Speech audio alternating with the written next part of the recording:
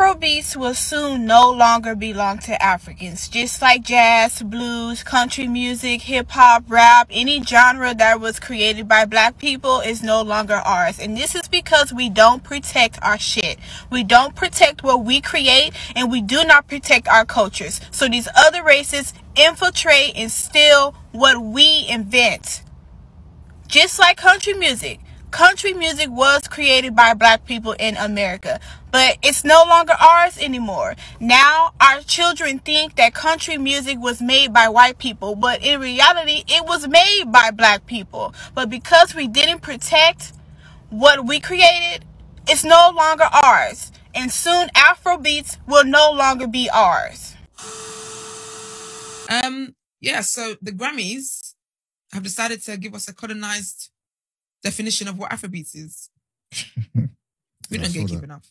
We actually we do not gatekeep enough. So the Grammys tweeted, Afrobeats is a mesmeric blend of West African and Black American music that has quickly become a global pop phenomenon. Sorry, wait, sorry, what? You heard right. He said Afrobeats is a mesmeric blend of West African and Black American music. Oh these black Americans don't get the fuck exactly out of here, are these man? Ta- are you man taking the biz? Uh, what? So you know what? We just sorry. This is. I'm, I'm actually gonna. I'm gonna really up it's egregious, it's egregious. because it's wild. it's wild. Afrobeats. Afrobeats. They didn't even know about exactly. no Afrobeats. exactly. Are you people sick? It's not their fault, and I will get to why it's not their fault. Afrobeats is a mesmeric blend of West Africa. I, I will just quit the show now, you know. you don't want to quit, you want to leave. All right, everyone. Thank you all for joining me today. I am your man, Corb J. And I'm excited to bring you this video today. You are going to love this video because we're talking about the West and their attempt to now redefine Afrobeat to the rest of us. You see, never mind that Afrobeat has become a phenomenon which became really popular on the continent. A music genre started by Nigerians, whose most artists are Nigerians, known all over the world. And the West, United States in particular, being the last ones to adopt Afrobeat, now I want to tell us what Afrobeat is. Let me let me give you a definition of what they have defined Afrobeat as. So Afrobeat is a rhythmic fusion of West African music and Black American music steadily growing popularity in the US. Let me read that again. Afrobeat is a rhythmic fusion of West African music and Black American music steadily growing popularity in the US. You see, I can't. I, I can't, man. Um, it's not their fault. it really is not. But on a serious note, I am not surprised at this because when you think about the West, their nature and their true nature has always been to steal, to cause conflict, to redefine, and to relabel something that is perfect from other culture. That is their identity. It is almost like a parasite type of behavior where the only way they survive is to infiltrate and to steal from other people. I want you to take a look at this interview that was done on GMA with Asake when he was being interviewed by Good Morning America on his rise and popularity in Afrobeats. Take a look at this, and I'll come back with my commentary. With Afro Beats, the rhythmic fusion of West African and Black American music, steadily growing popularity in the U.S. and Nigerian singer Asake is the rising star, making people all over the world dance to his chart-topping hits. Our Philip Bob sat down with him to talk about his journey to music. Take a look. So, you heard that opening intro of uh, Afro being a Western Africa and Black American music. You would think that African Americans and Black people went and sat together in a room somewhere and they say, hey, let's create a music genre called Afrobeat. This is the image that they want to give you, right? This is the image that a a part of the world that just adopted Afrobeat, they're still trying to figure out what Afrobeat is. They don't know what it is. They don't understand the language. They don't know what it is. They just know that it's all over the place. Okay? They know that it's on TikTok. These young kids are singing it. It's in South America. Asian folks, grandpas and grandma over there in, in China are singing this thing. They're singing all over in Japan. It's all over Africa, the continent of Africa. They go to clubs in, in Latin America. It is all over the place. They don't know what it is. Like, okay, hold on. Let's just find someone. And they look for, and they saw that a rising star like Asake, they see him. They're like, oh, wow, this is great. Let's go ahead and have this segment with him and use this as an opportunity to redefine this whole thing. That Afrobeat is not a Nigerian music, but is a West African music and Black American music that is now gaining popularity. Can you imagine that? It is now becoming very popular in the United States.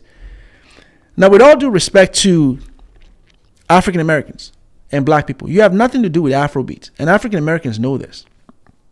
African American knows that when it comes to black people, because you know African Americans always are very prideful for what they created in the United States. You know, you hear them beating the chest about how they built America. So they know that when it comes to this music Afrobeat, they have nothing to do with it. Nothing.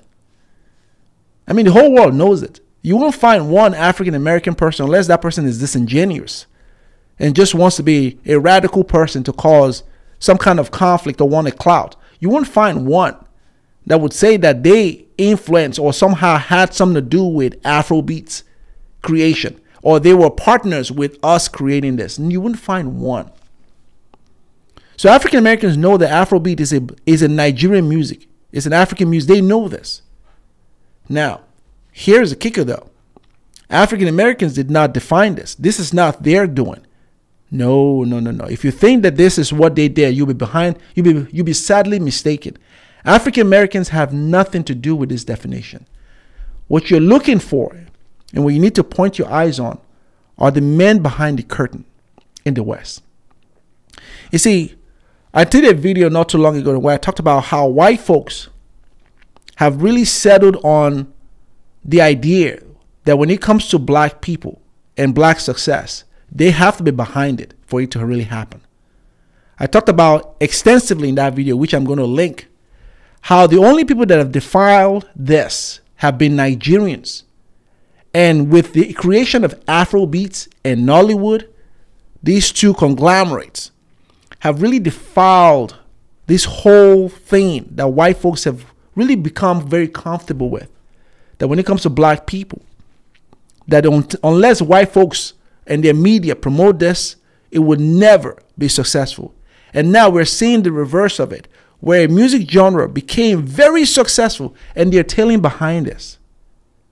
And so, in order to get in front of it, they have to give it a new definition that you're seeing right now. But here's what you need to pay attention to. Why African Americans? Why are they infusing African Americans with the creation of Afrobeat when they come up with this fictitious definition. You see, they don't know what it is. You see, that interview that I'm about to I'm about to show you another clip of this interview to show the ignorance of this white media when it comes to a beautiful music genre like Afrobeat. They don't know what it is. They just know that it's all over the place. See this one interviewer talk about when he hears Afrobeat. To tell you the ignorance and a lack of understanding of this music genre. When he hears Afrobeat, he hears reggae. Take a listen to this.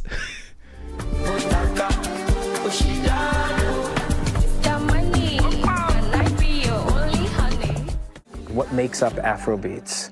I hear a lot of things when I listen to Afrobeats, things that I know f- from my past, whether it be a little bit of reggae or a little bit of dance. I hear a lot of things in there. What, what do you hear when, when you listen I to think Afrobeats? what I like in it is the spirituality. And his rhythms do feel spiritual. Rhythm. You hear that, right? Uh, most of us, that would be laughable because when we hear Afrobeat, you're not hearing reggae. Reggae and Afrobeat are two different music genre. Afrobeat and reggae are two different music genre. You're not hearing reggae and Afrobeat, not unless there's a reggae artist collaborating with Afrobeat artists. But Afrobeat in its tr- truest form, in its element, there's no reggae in it. You won't find that in the melody. You won't find that in the lyrics. You won't find that in any of. You won't find this in that. But that's the that's to show you the uh, the ignorance and the lack of understanding of a music genre. However, their arrogance is to redefine it because, like I said, the West has always operated on this stance that we have to give black people an identity, otherwise they won't have one. We have to tell you what your name is. What is your name?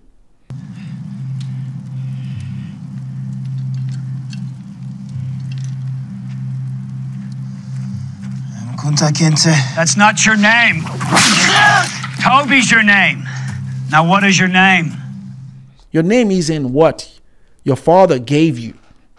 Your name isn't what your culture gave you. I'm going to give you a new name. I'm going to give you a new identity. I'm going to tell the world the image which you are and the image that we're comfortable with. To tell that the world needs to know about you is you're a savage. You're destructive you're violent. That is the image that we're okay with. And so the idea that you're going to start a music genre that is so beautiful that is somehow all over the world and we did not know about this, we can't have this. Let me take you guys into history real quickly. And the history I want to give you is why African Americans.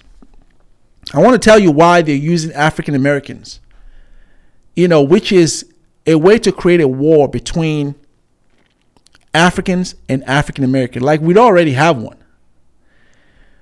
And I'm going to tell you how history repeating itself with Afrobeat. You see, understand that the men behind the curtain cannot stand to see black folks have an invention like Afrobeat or Nollywood become successful that instills a sense of pride into black people. That children in black communities in Africa can look up to artists, can look up to themselves and see greatness emerge from themselves. That is something that men behind the curtain, people in the West, can't stand. And they have to find a way to subjugate black people and destroy everything beautiful with black people. It had it started with history, and I'm going to paint you a history that this first started with, with a music genre called hip hop once upon a time. Hip hop started in 1973 by a Jamaican national called DJ Kool Herc. DJ Kool Herc, after his parents had migrated into the United States years prior, in his dorm had an idea of a music genre which we've since known to be hip hop. But at the time, it was just an idea. Had a couple of turntables that he put together, had friends over, he just wanted to show his skills and craft. Created something that was born on that day. It then moved into the streets of New York, where the kids were experimenting with this new sound and this new flavor that have since been called hip hop. They were experimenting it and they invented what we called breakdancing. And then they were using art, graffitis, to really express themselves. Hip hop then moved from that to a voice of the people, where people utilize hip hop as a way to really speak of the injustice, the subjugation that black folks were feeling in the black communities at the time. Hip hop was a voice of the people, a social justice warrior campaign, if you will, that then moved from that to a mainstream element where hip hop now began to tell people how to dress, how to wear their clothes. It became cool. Brand advertising companies started to use hip hop to promote their labels, to promote their brand hip hop now began to really create CEOs and and job creators where the artists now began to create clothing lines for themselves, labels, their own brand, influence other brand. Hip hop was a force that could undeniably be recognized. This was not cool to the man behind the curtain who saw black folks really emerging as something to be respected. Everyone wanted to be black.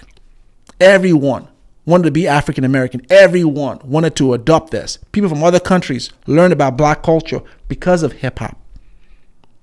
And so white folks and white artists began to collaborate with a lot of the hip hop artists. And we began to see the infusion of black and white really melting together because of this one music genre. Not long after that, the men behind the curtains, who have always existed, who never liked what was going on, wanted to portray black people as one thing savage. Because that's all they wanted the world to know about black people, whether it's Africans or whether it's black people in this country. And so they needed to create an element that would disrupt this love and this romantic love story that hip hop had just created. So they go ahead and find somebody. And one of the most popular artists in the East Coast, Notorious B.I.G. And they find another popular artist in the West Coast, Tupac. And they set these two against one another. And how did they you do that? They looked at they looked for the media. And they go ahead and get soundbite from one and get soundbite from the other and they set them against each other. To where these two, these two territories and these two areas, East Coast and West Coast, began to battle out. It became such a norm to where their consumers didn't care no longer about the messaging and the positivity with hip hop. They wanted to see the beef between two territories, between two great artists battling out. It was as it was first innocent, where they were using their lyrics to exchange competitive animosity towards each other. It then moved from there to a violent beef where guns were involved. Now, others that came after them began to emulate this type of lifestyle, and the men behind the curtains, just stringing this whole thing along, sat back and watched hip hop destroy itself from within. To the point that most of us now, when we think of hip hop, we don't think of hip hop as the most beautiful music genre that once established itself as a voice of the people. Something that influenced culture, that influenced art, that influenced clothing line, that influenced brand, we see hip hop as what it's become today a violent element that most people are trying and uh, are trying to separate themselves from. The men behind the curtains have succeeded in destroying a beautiful black creativity. And here we go again with history repeating itself. So now we have on the other side of the Atlantic Africans, Nigerians in particular, coming up with a music genre like Afrobeat, taking over the world. And how dare you do this without the influence of white people? Because believe it or not, for the first time in history, in modern history, something was created without white folks involved in it, and it became a global phenomenon. As a matter of fact, they are late to the table. And by the time they looked around, they saw everyone all over the place listening to this. And so now we need to go ahead and repeat the same thing we did with hip hop, the same playbook we need to do it with this music genre, Afrobeat. It's in its romantic phase right now. But here's how we infiltrate it. Let's go ahead and redefine this because this is history repeating itself. So give it a definition. Knowing fully well they have a large platform, knowing fully well that artists like Asake or Davido or Wizkid or every other artist would seize an opportunity to get interviewed by one of these media platforms. There's nothing wrong with Asake going to GMA to get interviewed. There's nothing wrong with that. And to tell you the truth, someone like Asake and Davido, these are strong patriots of Nigerian culture. When you look at his lyrics and when you listen to him, everything about him is he's got the ancestors and the spirit of the ancestors revolving around him. There are few artists that I consider to be die-hard patriots of Nigerian culture. Asake is one of them.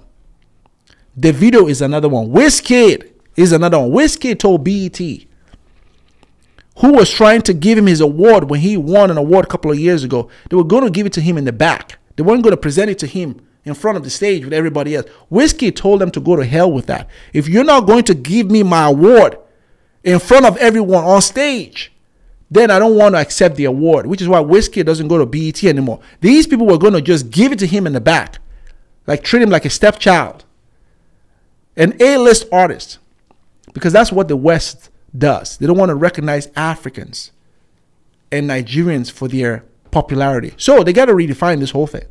And then you have true artists like these guys that are die-hard fan everywhere they are. They're giving kudos to Nigeria. I'm going to come back to that point in a little bit. So African Americans with hip hop destroyed. So now we have Afrobeat gaining popularity. Such a beautiful music genre. You got people in China singing this thing. You got people in in Mexico dancing to this stuff. You got prisoners using Rema's song and they, they, they're coordinating dance steps with Afrobeat. This stuff is all, is all in the prisons now. It's all over the place. We see it on YouTube. So let's go ahead and jump in front of this thing. And let's let our white audience know that we own this or we, we've got a control on this because we're getting calls. We're getting calls from people talking about, hey, do you see black people are really inspiring themselves with this stuff? Because they can't have you be inspired. They can't have your children learn that black folks invent anything that is pure and is clean and is nonviolent and the whole world loves it. Because the true nature that they want the world to know about you is that you're a savage beast. You're no good. You're not you're violent. That is the image that they have to show about you is that you need us. Which is why the image of Africa portrayed to African Americans have always been people that you don't want to be like those guys. See, you ought to be thankful that we got you as slaves. Because if you were not slaves in America, which has now made you Americans, you would be in Africa. Look at how those people are malnourished. Look at what's going on over there. Do you want to be like them? And the image that these African Amer- uh, uh Africans are shown about African Americans is look at these unruly people that are so that are given everything in the world, but look at how they're behaving. So they use the media to set us against each other. That's why African Americans are put in this definition.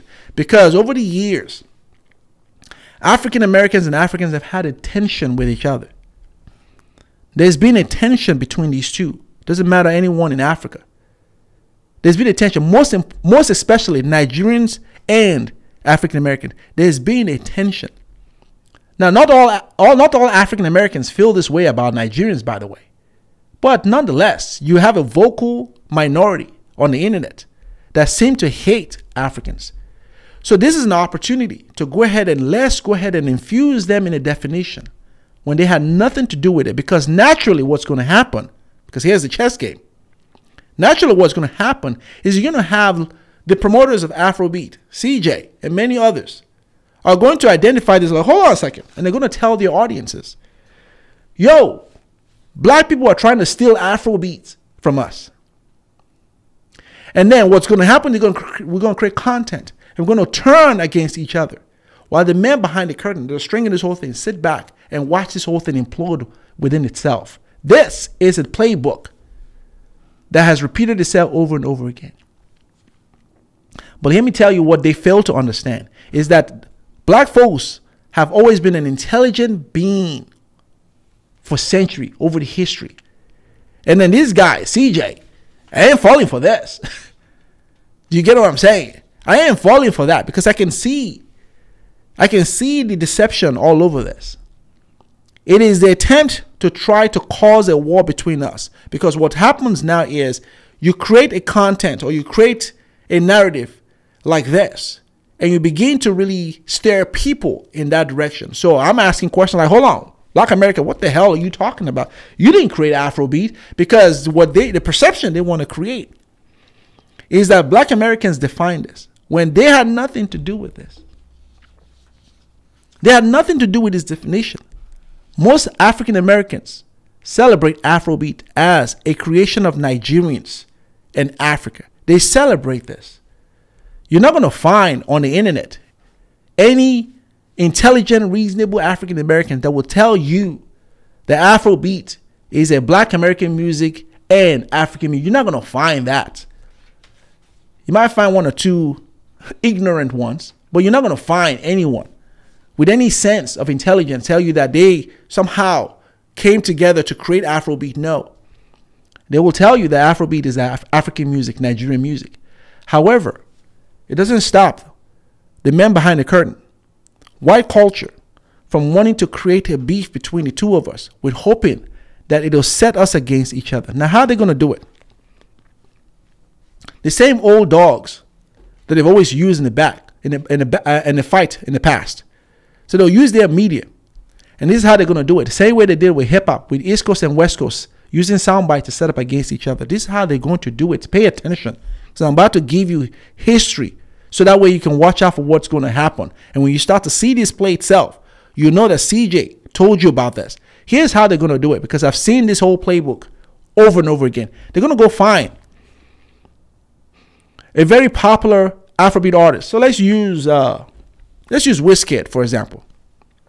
They're gonna say, "Hey, Wizkid, how you doing? What's going on? You you you, you know your music, this new album you just dropped, awesome album, great album, is awesome, is all over the world. What do you think about this Afro uh, this African American artist that's uh, popular, that's up and coming? And Wizkid is going to go on and on and say, "Hey, that was that artist is an amazing artist. I'm proud of what he's done. He's such an amazing artist. He's really doing it. It's an inspiration to his community. It's an inspiration to all of us. We're glad about the work he's doing. And they're like, ah, okay, good. They're going to find another one. So what do you about this artist? And Wizkid is going to say the same thing. He's going to glorify the artist. And they're going to look for the one criticism that Wizkid might have, just a tiny little criticism that he might have, that he perhaps said in a jokey way. They're going to use that. They're going to cut that soundbite and they're going to play that to the artist and say, hey, here's what Wizkid said about you. They're going to delete the other stuff that Wizkid, and I'm usually using Wizkid for example, it could be any other artist. They're going to delete the other stuff and they're going to play that soundbite. And he or she is going to hear that. I'm like, what? Because of the tension that's always been there. And he's going to see it as a threat, as an attack to his culture, to his art. And he or she is going to, go into the, uh, into the uh, uh, uh, studio and come up with what's called a beef response and they're going to move that and they're going to play that to Wizkid. And Wizkid is going to hear that and is going to be attempted to respond to that. This is how they're going to introduce violence into Afrobeat because they can't have Afrobeat in its beautiful form, just like hip hop, because that's insp- that's inspiring to black people. You know, when you have Afrobeat, everyone is just talking about how beautiful, how loving, how united they are. This is now the image they want to have of you. The image that they need the whole world to remember and to keep of you, black people, is that you are savage beast. You're a violent thing. Nothing you do is good. Nothing you do is going to last. Nothing you do is coming out of something of pureness, of a good spirit. They need to give that perception of you. So, Afrobeat, they're going to try to introduce an element of violence by turning Africans and Nigerians against African Americans and vice versa. To the point now, artists are going to want to like feel the need to respond to each other when the entire time the only person that really sparked this whole thing is the media and the man behind the curtain. Now, to you and I, all you see is black and black people going at it. But you don't understand the money and the influence and power that is that he takes that the people behind the curtain have over these two people.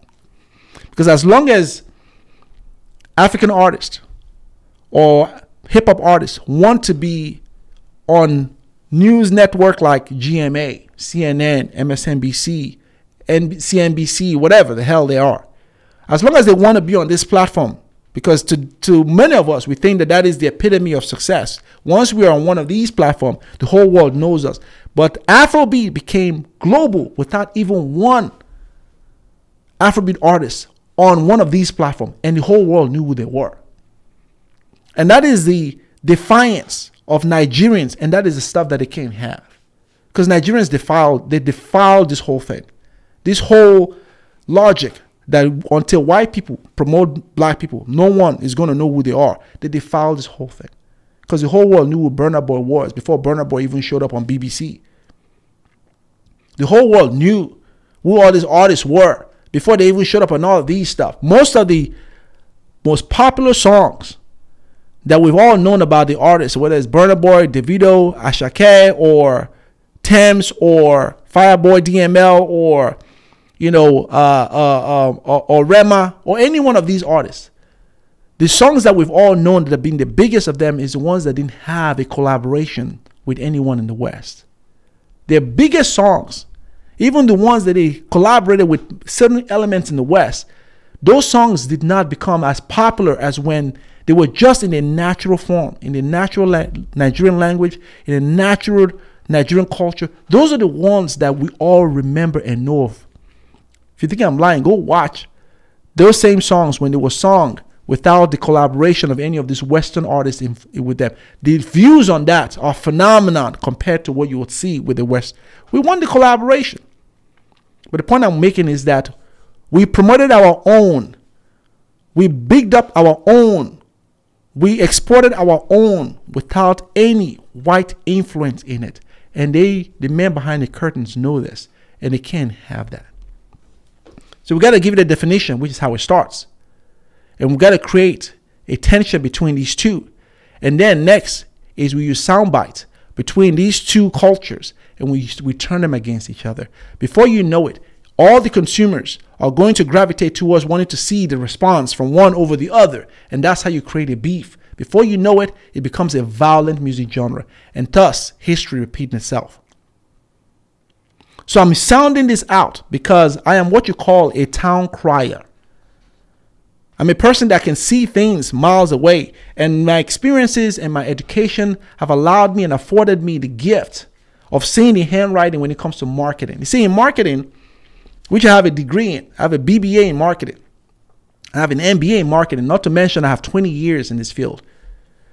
Brand advertising, brand imagery is one thing I've used over and over again. In marketing, is what's called the rule of seven, which is essentially a science and a study that have shown that people need to see something seven times before they believe it, which is how TV ads, radio have often influenced the way we behave and what we buy. This is why frequency ads are run on a frequency version. So you see it over and over again and you believe it.